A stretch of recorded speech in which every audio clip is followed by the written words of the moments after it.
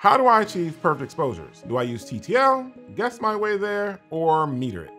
Let me start out by walking you through my process of lighting the simplest of lighting setups, flash on camera. I'm gonna use TTL, I'm gonna guess my way there, and I'm gonna meter it. So this video is gonna have many secrets. And the first one is gonna be using this Calibrite color checker to see if I have a perfect exposure. Let's start using the guess method. For all these tests, my light will start at power 5 with my camera set to its base ISO of 100, f11 at 1 125th of a second. My first exposure looks like this. I'm going to guess to get closer, and I get this. Then I will check my 18% gray and see if it reads between 117 and 119. When the 18% gray patch under the yellow reads between 117 and 119, you have a perfect exposure, presuming your scene is evenly lit. Now I'll use the exposure slider in Capture One to approximate how much to dial my light up or down. Then I'll make another power adjustment to my light based upon the amount I have to move the exposure slider to get to this technically correct exposure. I got 120, which is pretty perfect. So I'll see if a tenth makes a difference and it brings me to 116, so barely. Since 116 is closer to ideal without going over, I'll say it took me four shots, but you can argue it only took three to get to a near perfect exposure just guessing my way there. Now I know at this point you have some questions like why 117 and 119? Don't worry, I got the answer coming soon. next, I'm going to use a light meter. Before taking my first picture, I adjust the light based upon the metered reading and see if I need to power the light up or down. So no need to take a test frame. Then I will come over to the gray card and see how close I am to getting the 18% gray to read between 117 and 119 and I got it on my first try. So I know it looks like I cheated, and I kinda did. I did a quick meter calibration prior to the shoot. I take a reading, and let's say my meter reads F11. Then I take a picture with my camera set to f11. Then I check the gray patch on my target. I'll adjust the light until the gray patch is between 117 and 119 or closest without going over. Then I'll dial in the exposure compensation on my meter so that when it reads f11, I also get a perfect f11. Now my camera and meter match. Now the meter can still be off by one tenth of a stop, but as long as I don't change lenses, I know my meter will nail the exposure every time. The reasons lenses matter is because there's a huge difference between an f-stop and a t-stop. An f-stop is simply the focal length of a lens divided by the size of the opening that the light goes through. So an 85 millimeter lens with an opening of 42.5 millimeters will be an f2 because 85 divided by 42.5 equals 2. But a t-stop is a measured light transmission of the lens. This is why you see many lenses with a t-stop that read 2.9 or 3.1 versus 2.8. So when looking up lens tests on different 2.8 lenses on DxOMark, you will find they range from f2.9 to f3.5 of actual light transmission. And depending on the lens, you can even see slight exposure differences throughout the zoom range and when macro focusing. So your lenses with f-stop ratings can easily be off by up to 0.7 stops based upon some of the readings I saw on DxOMark. Now, before we get to TTL, I bet you're asking why is an 18% gray not reading 127 or 128, instead 117 or 119, when 127 is halfway without going over when looking at an 8-bit scale of 0 to 255 on a histogram. But there are levels to this. This is because an 8-bit value for photographic exposures are not on a linear scale. Most, if not all, digital cameras use sRGB or Adobe RGB color space, which 18% gray should technically render 117 or 119 depending on the source you get your information from when you research this. But let's not skip over TTL. And this is what I got with my first TTL exposure. Then I'll lock my exposure and manually adjust the light to get our ideal exposure. I was able to do this with just one move, and TTL overexposed this scene by about 0.59 stops. And then going to our subject wearing all black on a black background, the exposure stayed pretty much the same. But when I have them turn their head, the TTL face priority seems to be fooled and my exposure increases by another half stop. Now I said, well, what happens if I turn their head on a white background? Well, now I lost a full one and one tenth stop. I tried this multiple times and the results were the same. TTL has gotten smart using both subject face and the background, but still not perfect. Easy to recover from, but not ideal if you don't want to deal with these corrections later or if a client is looking at your screen. Now, before we get to gels, let's discuss the pros and cons of each. The problem I have with the guess method is simply every time I change my lighting, I have to go through the guessing game again. And when using multiple lights, it can potentially take longer. And yes, will we be covering how to use multiple lights as well? Absolutely. Now, when I am lighting for a certain feel that isn't technically correct, I do end up guessing my way there a bit anyway, but a meter tells me how far away from an ideal exposure I am so I can replicate any recipe I create. The guess method is also best when shooting tethered. So TTL definitely has its place, especially when shooting events where it can outshine all the other methods. And later, we'll also show some scary things that can happen when you use multiple lights in TTL. Next, you have a light meter, which is my preferred method. I'll be talking about it more, so let's move on to gels. But one thing I will say about metering is there are certain instances where you're just not able to get a light meter in there, and you may have to refer to some of the other methods that we discussed above. But on a serious note, any teacher that tells you that any of these methods are bad is simply a bad teacher in my opinion. Learn to use all of them and simply find which one works for whatever situation you're in. So now let's talk about gels. The best way I found to get the most accurate exposure from gels is to simply make sure your light is properly exposed prior to putting a gel on it and then gel it. For this set, I intentionally have a white wall, a fashion gray background, and our model is wearing beige with denim shorts on and red tights plus an extra large color checker so you have multiple references to look at. So I'm going to go through 10 different gels, multiple reds, greens, and blues, and purples to show you the results that this technique has and how well it works. Now I'm making zero adjustments to these images, and I'll put the name of the gel in the corner if I know what it is, but I've sadly cut the label off of some, so I apologize if I don't have the name and I just put question marks.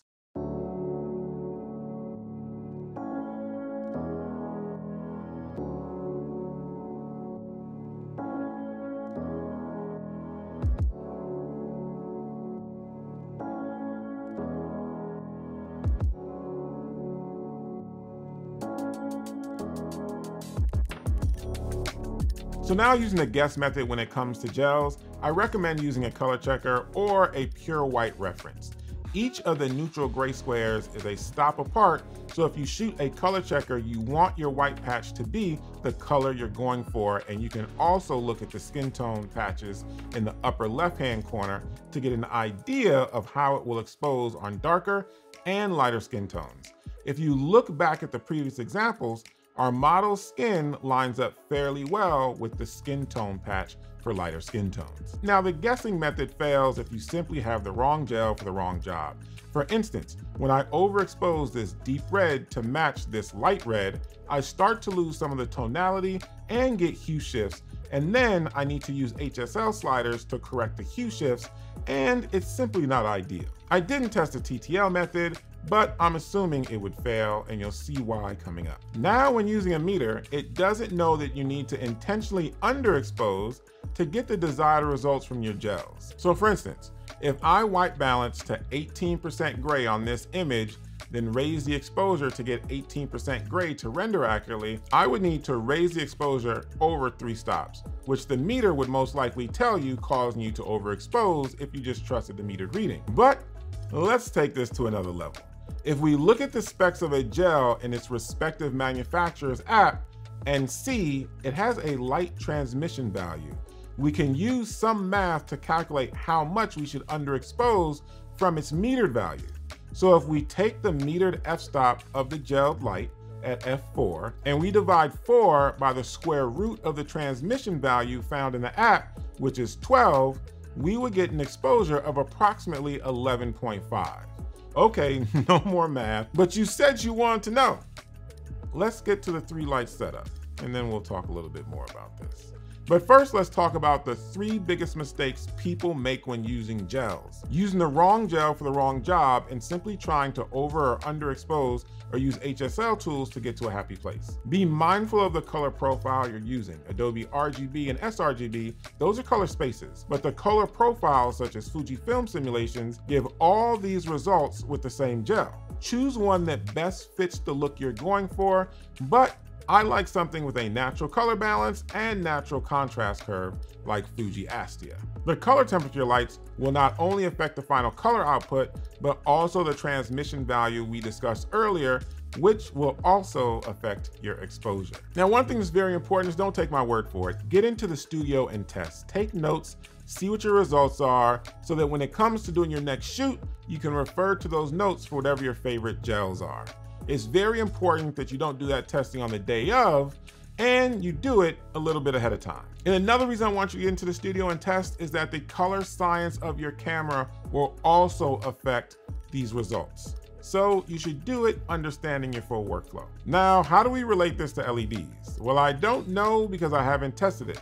I wish more people would admit to that, but what are you gonna do? But what I would do if using LEDs in HSI mode with the saturation set to 100% is to underexpose three stops to my metered reading. But a lot of LEDs do have gel packs pre-programmed into them. And if that was the case, I would again use the app from the gel manufacturers and dial in the exposure compensation based upon the transmission values that we talked about before so that you can still get close when using a light meter. But just understand the color science of LEDs is much different than those using standard tungsten or even flash tubes and simply gelling them.